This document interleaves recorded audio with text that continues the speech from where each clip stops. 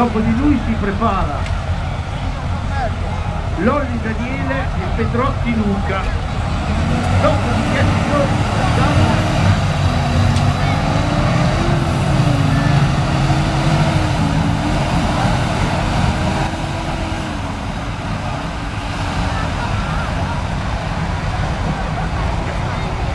Allora, finita questa categoria, vi stavo dicendo,